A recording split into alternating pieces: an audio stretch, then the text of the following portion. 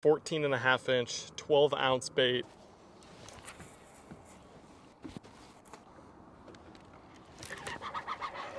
Got him.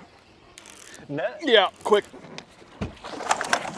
God damn, yes! That's the biggest bait I've ever caught a fish on. This was an example of one that wouldn't eat something else. Look at that giant bait though, hanging from its mouth.